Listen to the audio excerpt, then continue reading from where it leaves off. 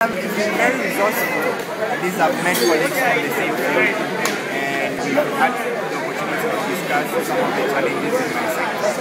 So I, I believe what we need right now is a lot more collaboration a lot more seminars and meetups like this to expose us to other people in our industries and people, you know, who can also be our clients and associates in the future. I mean, so it's resourceful. Let's not make this the last one. Uh, I, I wish that we could regularize it and make it say once every month, if not every week. Okay. All right. Thank you.